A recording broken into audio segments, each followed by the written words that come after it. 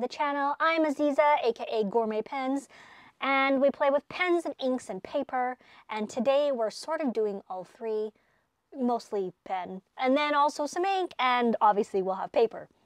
So the pen that we are playing with today is actually, oh, oops, is this not my cup of tea?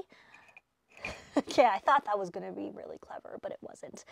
Um, so that's kind of embarrassing. The pens we'll be playing with are the Diplomat Magnums. So I've got a selection of colors here to share with you, which is quite exciting because if you know me, you know I like wild and wacky colors.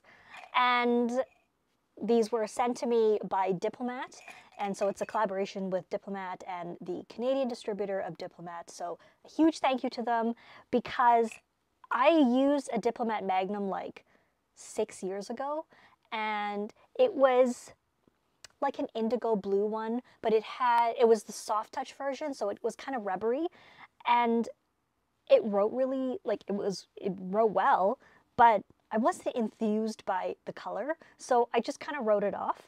So I'm really excited about these because I think the color is is kind of where it is, you know? So there's the color that got my eyeballs like all excited and then, sorry about this part here.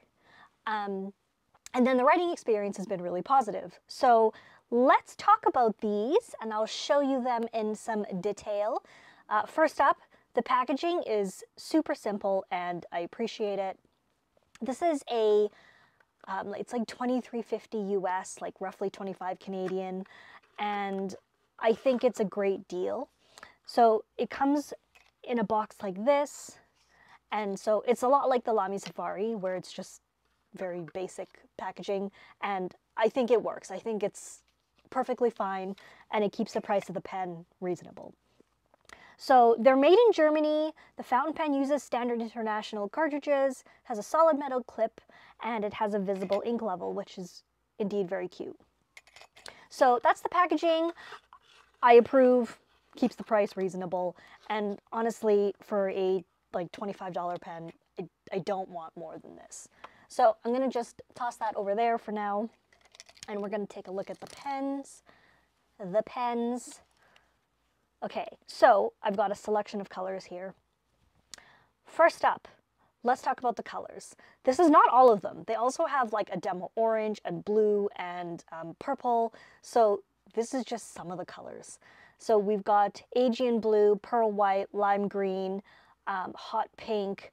This one is royal blue, and this one is called John Doe. And in the States, I believe it's called prismatic purple. So you'll have to figure out what yours is called. So let's just grab this one.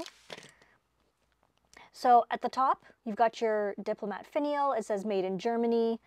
And it's got the little flower. I think it's very cute.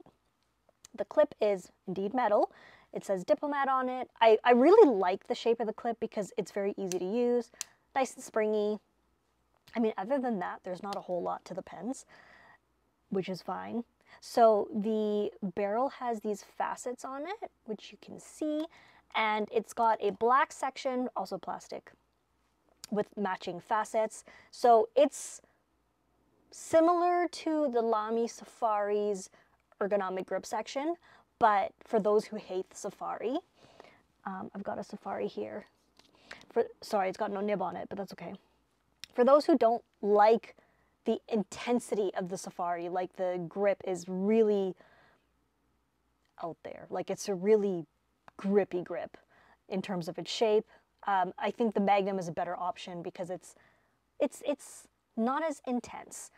Very comfortable. It is slim, but the pen is light and slim overall, so there's no big jump. There's no big difference. It really is comfy. And the cap posts by friction, so great for those who like to post. And because the cap doesn't weigh a whole lot, the um, like the balance and the weight doesn't really change. So my first impressions when I first got these and I was playing with them, super positive. They're just very, like it's basic, but in a good way. And I'm gonna unscrew the barrel. So it comes uh, sorry, it takes standard international cartridge converter. Now, my only kind of complaint was that they don't come with a converter automatically. And um, that's similar to a lot of other entry-level pens like the Kakuno and the Metropolitan and the Lamy Safari. They don't come with converters either. But the good thing about this is that because it's standard international, chances are if you're buying this for someone who already has a, a fountain pen or if you are getting it for yourself, you probably have a standard international cartridge or converter at home. So it does come with a cartridge. That's great. But um, I think having the option to buy like a full package where it comes with the converter and a bottle of ink would be really cool. But so anyway, just so you know, they do have ink. Um, it's not really a complaint because it's not a huge deal and you can pick up standard international converters like anywhere, right? So you can buy them online. You don't have to go to a stationery shop. You can just buy them on like Amazon if you wanted. But I think you should buy them from a stationery shop and support them instead. And so that's like the only downside. It's not really a huge deal. But anyway, let's get to writing because I'm pretty excited about these. They have steel nibs. They are transitioning from matte to steel nibs. So I have half matte and half steel. Um, here's, here's a matte one. So it kind of looks like a titanium nib, like that brushed look. Doesn't really affect the writing performance. I, I found that they all wrote quite similarly, quite comparably, and without issue. So let's do some writing. Okay, I'm gonna pull this up because I did note that they are sensitive to um, oils on the page, like most nibs. But yeah, anyway. Okay.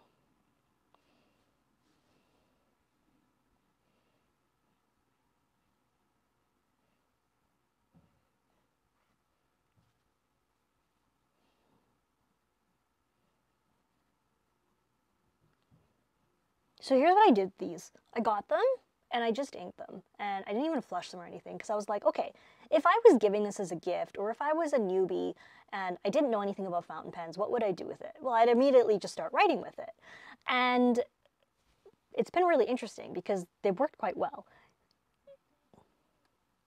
And it's funny because I've certainly had like $1,000 pens where you have to like get the nib fixed and flush them and make sure everything works right and write with the proper paper and make sure your room is the proper temperature so that they'll work. And, you know, there is an argument for why buy expensive pens when, you know, a $25 pen works just as well. So in fairness, I have the range, so it's okay. Like, I don't feel so bad insulting expensive pens because I have some and I experience this. So this ink is actually the Diplomat um, purple. Very nice ink. Okay, so the, the nib. Let me show you. It's a pretty decent fine. Like this one is a fine. They have extra fine, fine, medium, broad. So a pretty nice selection. Um, missing a stub for those who like stubs. But I think for like the beginner market, maybe a stub is not ideal. You can apply pressure because it is slightly springy, but I mean, it's not a flex nib, obviously, but you'll get a bit of a wetter, broader line. So, you know, some line variation can be fun. And then let's just do some writing. Some hideous, humongous writing.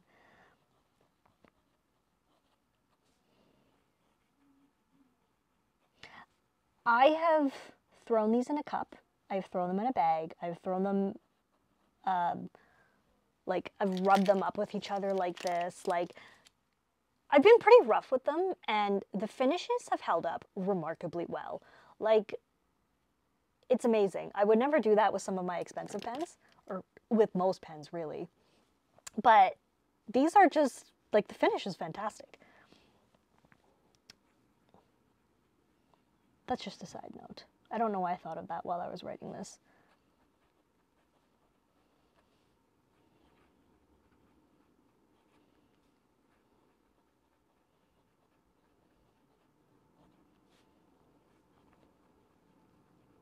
So I have to say, I think these are definitely a contender for um, like the entry level, penabling, giftable type of pen.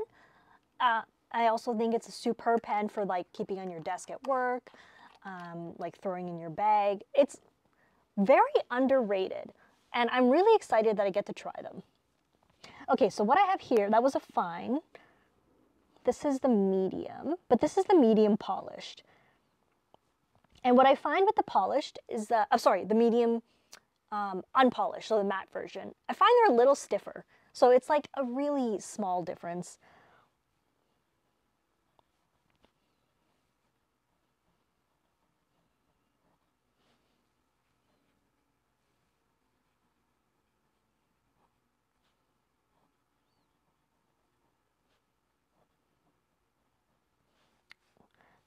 So this ink is Diplomat, Caribbean, which obviously I would put in the Aegean blue because that's the right match. Um, I think the nib sizes are very true to, to size. So I just want to show you what my favorite thing is. Apart from the prettiness of the pens and um, there is the ink window. Like that's really fun. I think one of the best things about these pens for me is the versatility of the nibs. And I'll show you what I mean in, uh, it's, there are certain pens and like nib shapes and weight and balance and the way I grip pens that I can only write in one way with it but I really like these because they're versatile in how I can manipulate them. So let me just see if I can show you an example of what I'm trying to explain. So I can do like different script types. So here's one. I'm not going to do the whole alphabet. So that's one. Um, you can do, oh, sorry, that was my fault.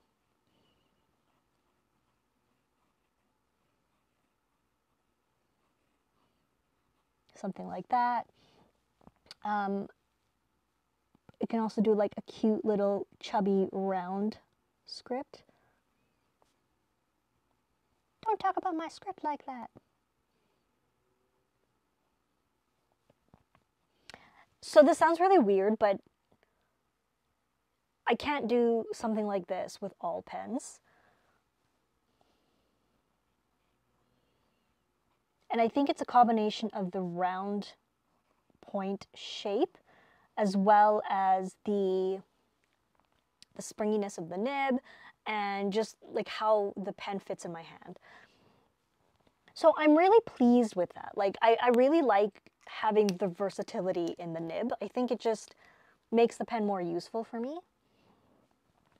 So I've been doing a lot of like hand lettering practice.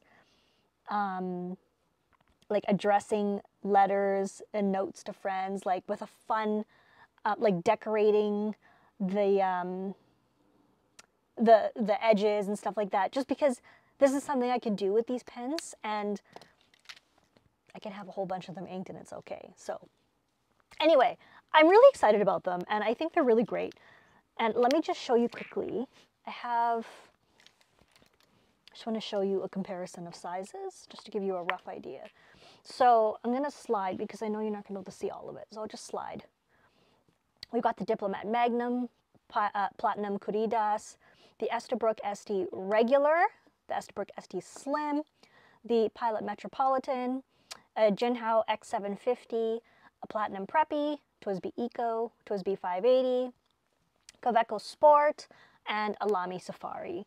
So if I were to really like put them up against each other about like what would be comparable with each other, I would say these ones. So like you're looking at a price range of like like six dollars for the preppy to I think like 35 for the eco. Um, and, you know, give or take a little bit. So I think for 25, the Magnum is a fantastic option. So I, oh, sorry. Um, I'm pretty pleased with it. So let's do some side writing and then we'll come back.